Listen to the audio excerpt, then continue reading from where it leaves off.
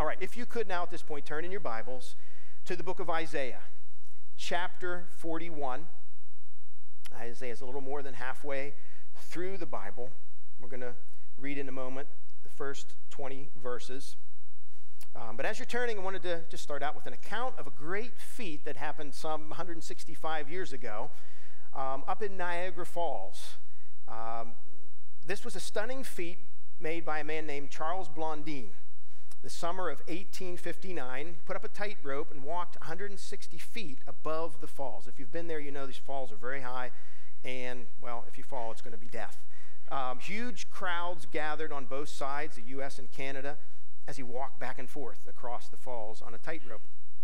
Once he crossed in a sack, once on stilts, another time on a bicycle.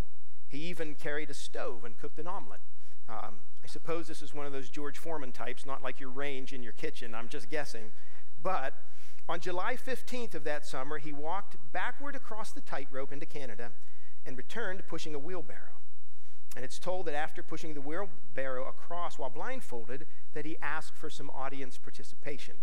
And the crowds who had been in awe, um, he asked them, he had proven that he could do this. That, there was no doubt of that. But now he was asking for a volunteer to get into the wheelbarrow and take a ride across the falls with him. And it, it is said that he asked his audience, Do you believe I can carry a person across in this wheelbarrow?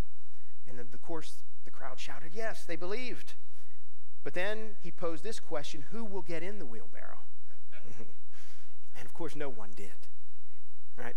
So, a similar question comes to us today as it pertains to God.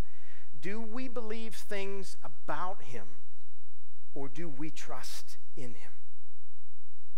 So please listen as the living God addresses us through His holy, inerrant, authoritative word.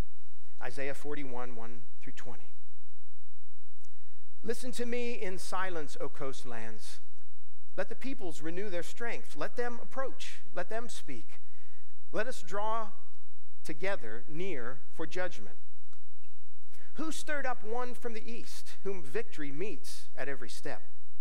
He gives up nations before him, so that he tramples kings underfoot. He makes them like dust with his sword, like driven stubble with his bow. He pursues them and passes on safely by paths his feet have not trod. Who has performed and done this, calling the generations from the beginning? I, the Lord, the first and with the last, I am he. The coastlands have seen and are afraid. The ends of the earth tremble. They have drawn near and come. Everyone says to his neighbor and says to his brother, Be strong. The craftsman strengthens the goldsmith, and he who smooths with the hammer, him who strikes with the anvil, saying of the soldering, It is good. And they strengthen it with nails so that it cannot be moved. But you, O Israel, my servant Jacob, whom I have chosen, the offspring of Abraham, my friend. You whom I took from the ends of the earth and called from its farthest corners, saying to you, You are my servant. I have chosen you and not cast you off. Fear not, for I am with you. Be not dismayed, for I am your God. I will strengthen you, I will help you, I will uphold you with my righteous right hand. Behold, all who are incensed against you shall be put to shame and confounded. Those who strive against you shall be as nothing and shall perish. You shall seek those who contend with you, but you shall not find them. For those who war against you shall be as nothing at all. For I, the Lord your God, hold your right hand. It is I who say to you, Fear not. I am the one who helps you. Fear not, you worm Jacob, you men of Israel. I am the one who helps you, declares the Lord. Your Redeemer is the Holy One of Israel.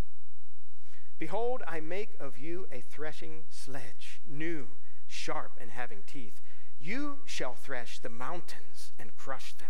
You shall make the hills like chaff. You shall winnow them, and the wind shall carry them away, and the tempest shall scatter them and you shall rejoice in the Lord, in the Holy One of Israel, you shall glory. When the poor and needy seek water and there is none, and their tongue is parched with thirst, I, the Lord, will answer them. I, the God of Israel, will not forsake them. I will open rivers on the bare heights and fountains in the midst of the valleys. I will make the wilderness a pool of water and the dried land springs of water.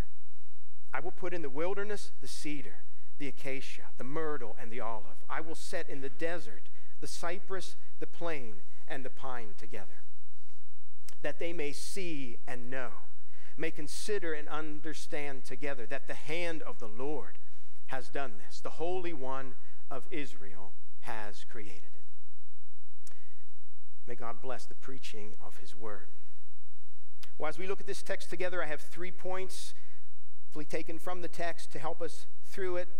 Three points. First, God's word to the nations, then God's word to his people, and finally, the transforming power of God's word.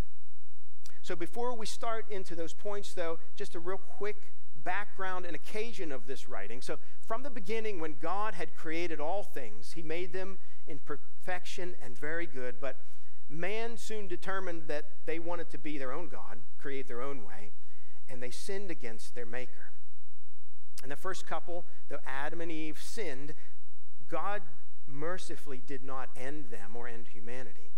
Instead, he chose a people out of the world through whom he would work in the world to redeem, to save, and bring back to him. He chose the man Abraham, and through Abraham's offspring, God's people Israel, his plan was to unfold. However, at this time in history, the people of God were following in the steps of Adam in rebellion against him. The year is around 700 BC, some 2,700 years ago. And here God uses his prophet Isaiah to confront his people, Isaiah's own generation, with their repeated failure to treat God as if he really was God. As such, God had brought them into judgment and he sent them off into exile into Babylon. This great, powerful empire and nation had defeated and captured, captured God's people and took them into slavery. And here, where we pick it up in Isaiah 41, God's prophet is speaking to his people, the people of Abraham, but they are now in exile. They're enslaved. And they're living in very difficult terrible circumstances. And so here we see, starting in verse 1, verses 1 through 7, first point, God's word to the nations. So, what God is doing here, He's calling the peoples and the nations to listen to Him. He calls them all, even those far off from the coastlands, like maybe along the Mediterranean Sea there. He's calling them together for judgment, the text says. But note here that God is not bringing judgment upon them, He's calling them into a courtroom, as it were, with him. Let us present the evidence together. God says, You make your case, and I'll make mine, and there'll be a judgment decided. So, as God presents his evidence here, he presents his evidence first. We see a statement in verse 2. Isaiah, Isaiah speaks of one that is stirred up from the east, who is victorious at every step. And it reads a little funny here in English. It says, He gives up nations before him. And so the he in this verse is clearly God. And most scholars would agree that the him before whom God is giving up nations who will trample kings underfoot, this is a prophecy given by God of future events of an earthly king yet to arise on the earth, a king from the east, King Cyrus of Persia. More than 150 years, around 150 years before he was even born, Isaiah calls him by name.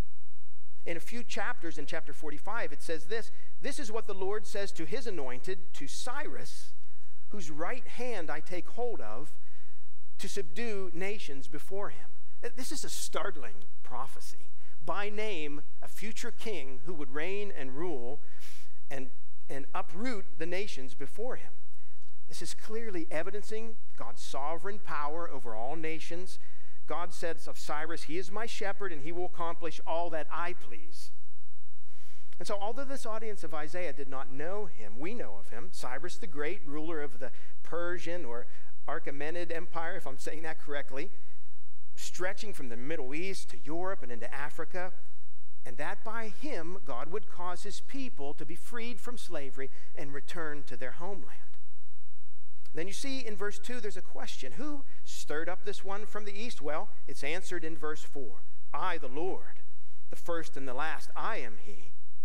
He's telling His people that He is the one stirring up history.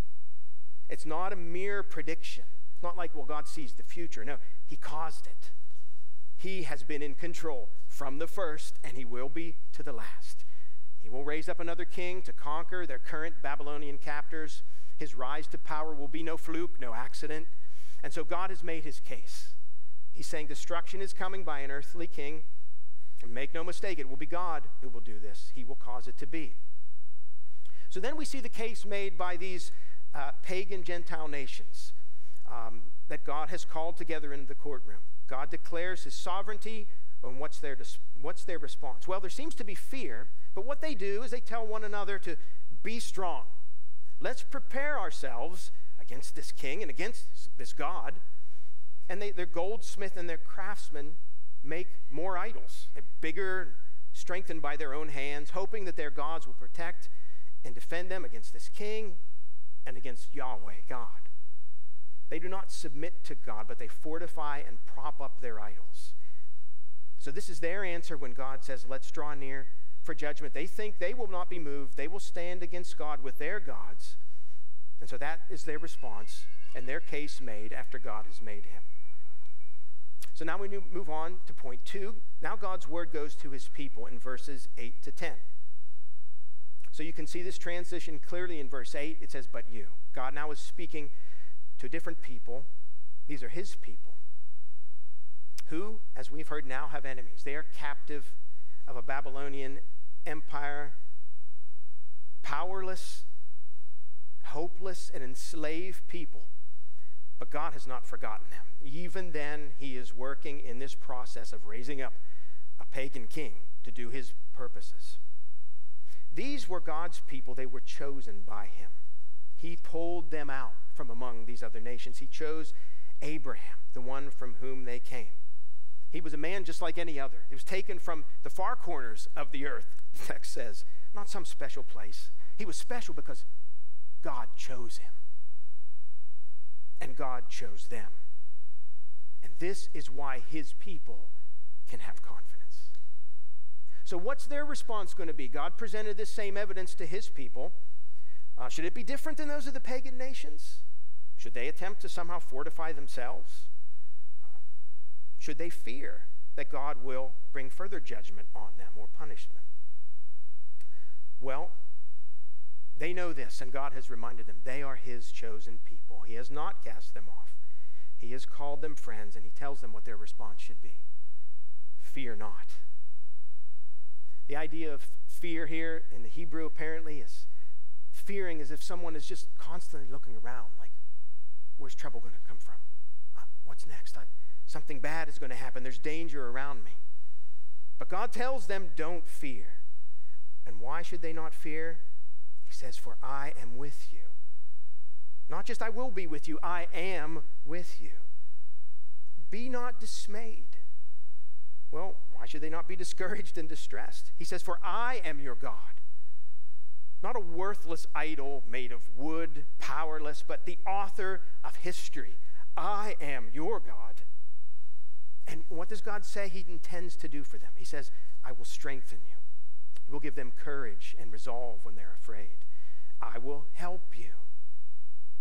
he will give mercy and grace.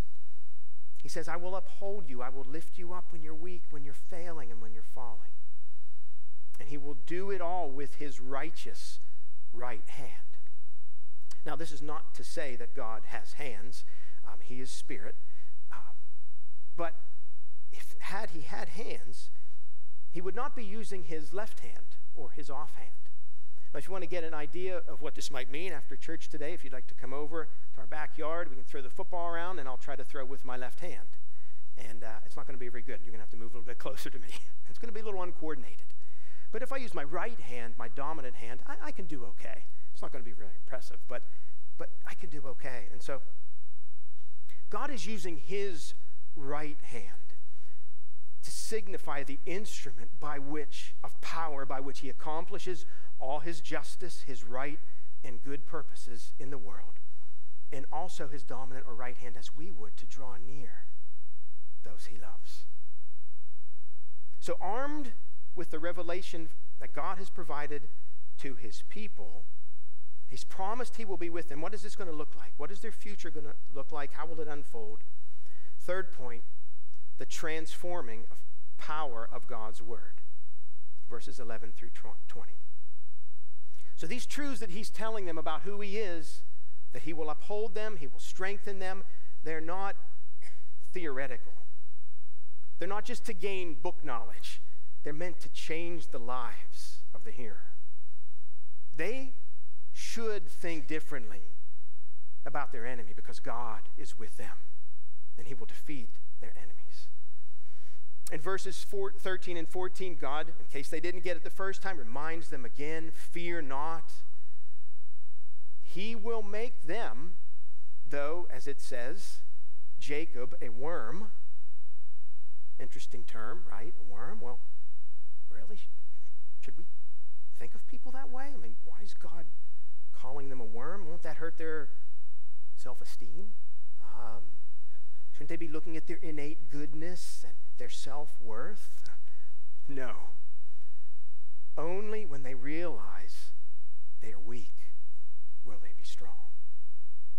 The worm symbolizes one who is helplessly inferior to the task. That's a pretty good image, isn't it?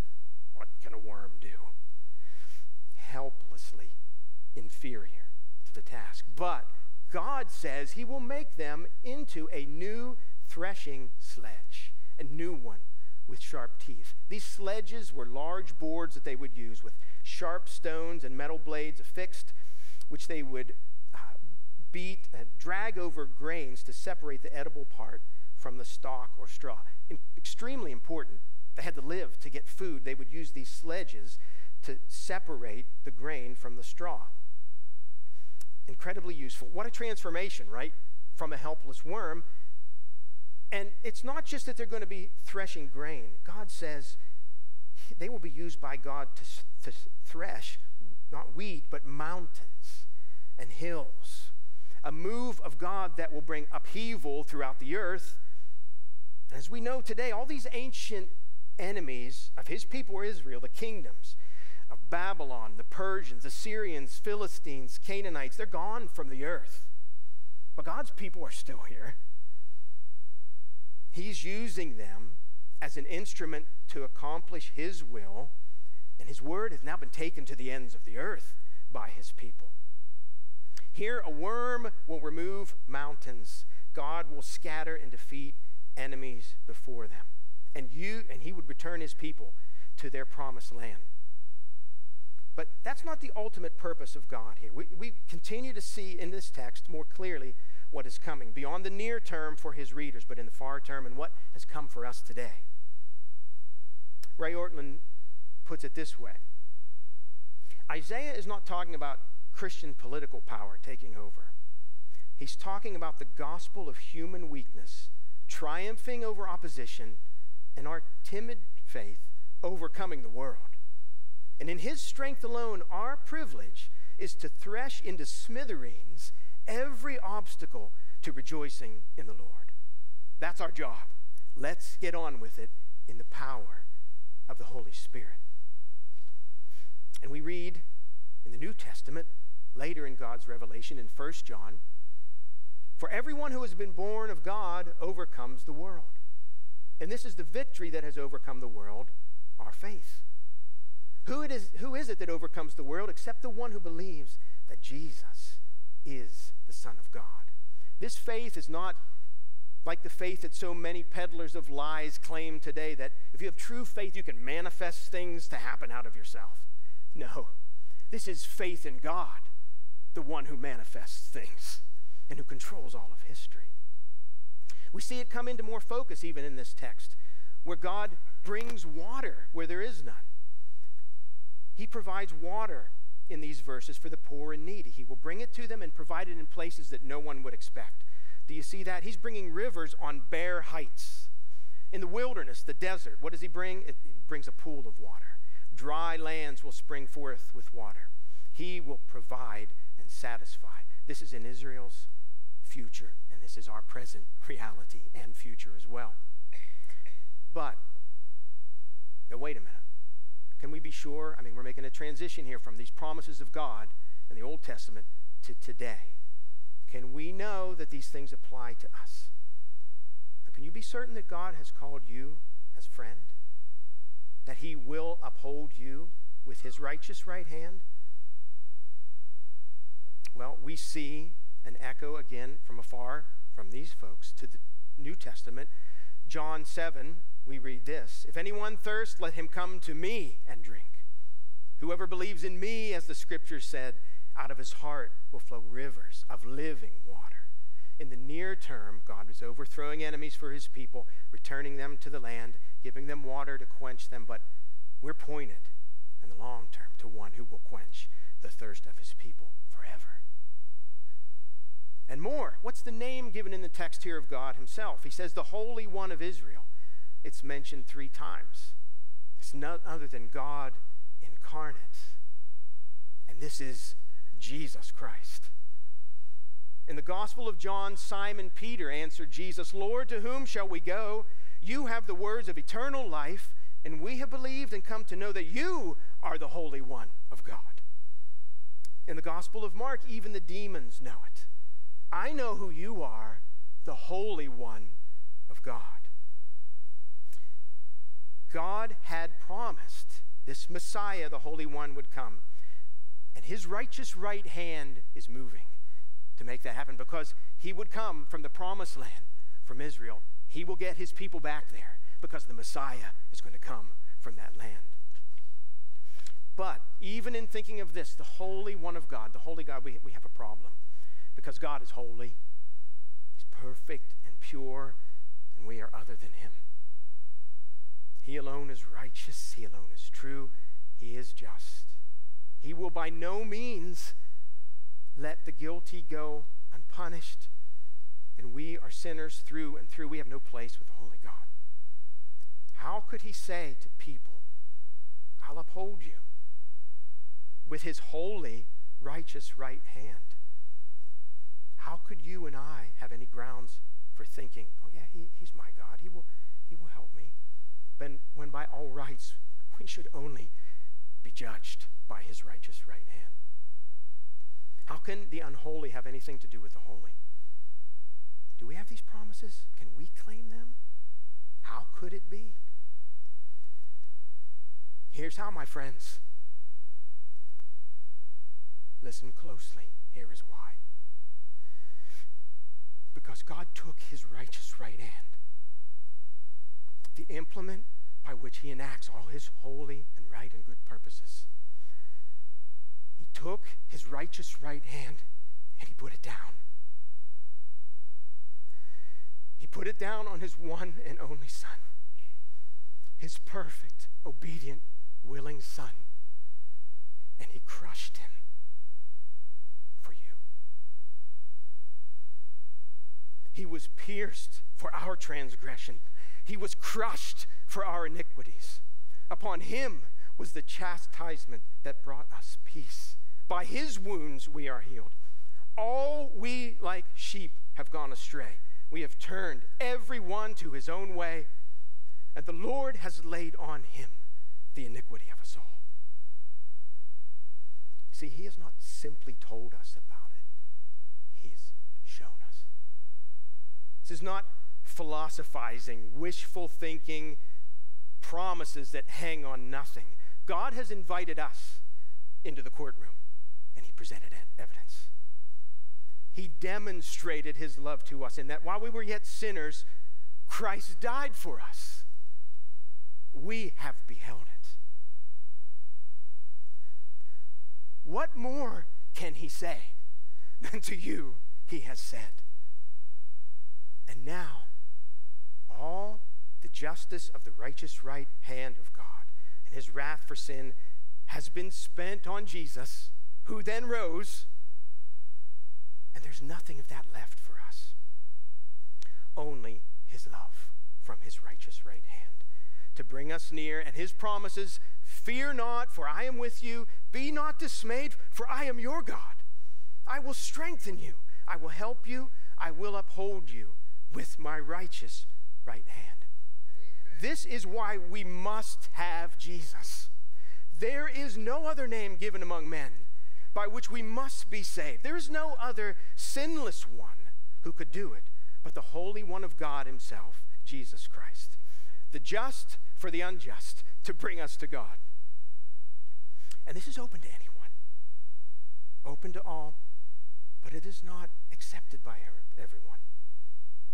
Listen, everyone here is going to have to deal with the righteous right hand of God. If you today have not confessed your sinfulness before a holy God, your disobedience to Him, and confessed with your mouth that Jesus is Lord, and that He died in your place on that cross, and believed in your heart that God raised Him from the dead, then the righteous right hand of God is still against you. My friend, you are in grave danger. I plead with you look at the evidence He has given. He died for you. Don't resist. Put your faith in the Holy One of Israel, Jesus Christ. Don't prop up your false gods. Don't try to build them up. Well, I, am I'm, I'm pretty good. I think I'll be okay on my, my own righteousness, my own goodness. I've done more good than bad. I, I'm here in church today. Doesn't that count towards something? No, don't prop them up. Put your faith in Christ Jesus alone. But if you have confessed and believed, then God's hand is only and fully reaching out to you in love. There is no more anger or judgment or penalty left. It will only and always ever reach for you, for you in love. And listen to this John chapter 10 My sheep hear my voice, and I know them, and they follow me. I give them eternal life, and they will never perish. And no one will snatch them out of my hand. My Father who has given them to me is greater than all, and no one is able to snatch them out of my Father's hand. I and the Father are one. Brothers and sisters, God has you in his righteous right hand. Who do you think could remove you if he says you will never be removed? This is why we can confidently say, The Lord is my helper, I will not fear. What can man do to me? Ray Ortlund again says this God longs for us to draw strength from his greatness. Do you see here how he lingers over his commitments to his people? He chose us. He called us. He's committed to us. People who have a sense of that in their hearts are unstoppable. You know, a number of years ago, I guess it may be 20 years ago now, my wife Colleen and I um, had a little change in life. Um, when we were first married, we had made a decision that I think we would have try for three three children. We we each had three in our family, two siblings, and seemed like a good plan to us. So maybe we could handle it. You know, three doesn't seem like that many. Um, but then in the course of time, we became persuaded and convinced by God's word that they're a wonderful blessing from God, and He desires children. And so we had faith for it, and we decided we wanted to try for more children. But one issue at that point, we were um, you might say, a bit advanced in years and beyond what, be, what would be considered uh, the normal season of growing a family. I must say that I'm always a little more advanced in years than my wife. She reminds me of that often. uh, but as I pondered these things, I began to hear of, I just seemed to hear and read things about the greater dangers of childbirth um, in advanced age for the health of the mother, health of the child, my wife also decided she'd like a home birth. That's another reason for me to be fearful, potentially. Um, and so I began waking up at night with all these what if thoughts. Like I'd said earlier, I'm looking around. This could happen. That danger's coming. What if? What if? Then I recall a conversation, and I don't remember much about it. I don't know who it was. I think it was a woman, I think, from the church that I was talking with and sharing some of these thoughts of mine and I was speaking of my worries, and she said something very simple, something like, Well, no matter what, no matter what, your child will be beautiful, made in the image of God. And my heart sank in me. Because I realized at that moment, of course, she's absolutely right. All people are made in God's image, will exist eternally, equal in dignity and value. But more than that, I realized underneath that I was not trusting God because it went beyond mere concern or wise preparation. And it doesn't mean that if I had faith, none of those things that I fear would ever happen. No, I just wasn't believing in his promises. For when he told me, Fear not, I didn't believe him. He told me, I will strengthen you. I was saying, mm, I'm not sure you will. And he said, I will help you, I will uphold you. I did not think that his righteous right hand would be strong enough for me. So, the wonderful good news to weak sinners is that at our moment of weakness, and lacking trust is in God, just as with his people in this text, and as with you, he graciously does not abandon. He didn't abandon me. He didn't punish me. Even though I didn't have faith in him, he remains faithful. He cannot change. He is faithful. And so when our troubles, consequences of our own sinful choices even come our way, he's not casting us off. You may feel weak today, that you have failed to put your trust in him. Maybe you feel like, I don't know that I've ever I got in a wheelbarrow.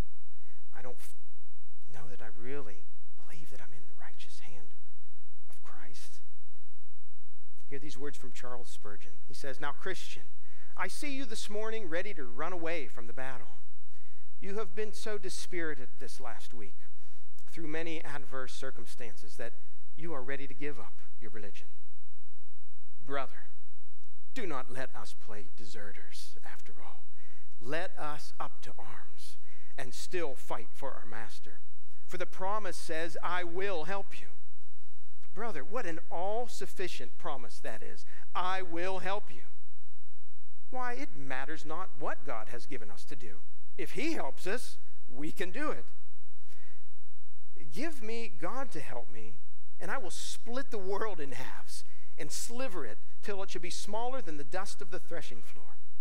Yes, and if God is with me, this breath could blow whole worlds about as a child blows a bubble. There's no telling what a man can do when God is with him. So, as all these things are happening, he directs and intends and promises even when it looks most grim, don't be afraid. He is with you. He will one day put an end to all troubles and trials. But until that day, he is with you. Well, many of you are familiar with the famous Tolkien uh, novel, Lord of the Rings, and I'm going to share an illustration from it. There's many wonderful, I find, illustrations there. And I know there's some Tolkien geeks here. I'm not going to maybe get all the details right, but bear with me, okay? I'm going to try my best. I find this helpful. My, one of my favorites is there's a battle over the capital city of men, Gondor. Uh, it's called Minas Tirith, and they're under siege. They're being attacked and beaten back by these evil, foul creatures, orcs, hateful, fearful. From behind the battlefield charges other men, Rohirrim, their horsemen, led by their king, and they, they begin to sweep through the enemy, defeating them. And as they begin to feel the battle turning in their favor, however, they hear the sound of trumpets and turn to see a long row of a new enemy approach, a giant row of giant, humongous elephants equipped for battle with long, deadly spikes attached to their tusks, dozens of archers riding on them into battle. It's just like a fearful and seemingly unbeatable foe. But then this is what happened. The king, in battle with them, calls out loudly to his men Reform the lines, rally to me, and take them head on. Those powerful enemies, like for us, so many lies of the devil, so many allurements to love this present world, so many temptations to sin, so many troubles and trials that come at us. They can keep coming at us. Some like it sometimes it may feel like it's an endless stream that they may never end. But this is God's word to us as it was to them. Rally to our God. Rally to Christ. He is with us in the battle. He holds you in his righteous right hand. You see, he has chosen you and set his love on you. He crushed his only son for you. He will scatter and defeat all enemies before his chosen ones. And in the final verse of this text, we see God's intention that they may see and know may consider and understand together that the hand of the Lord has done this, the Holy One of Israel has created us. So do not succumb to discouragement. Do not be dismayed nor fear. He is your God. He is with you. He will strengthen you, help you, and uphold you. And after all this is done, eternal life with Him awaits. Amen.